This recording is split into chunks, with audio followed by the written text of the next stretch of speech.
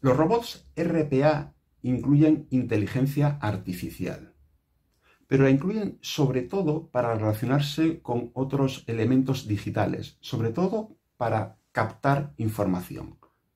Pero lo que son en su lógica de decisión, su funcionamiento, su razonamiento, si queremos decirlo así, lo que siguen son flujos de trabajo basados en reglas de negocio muy claras.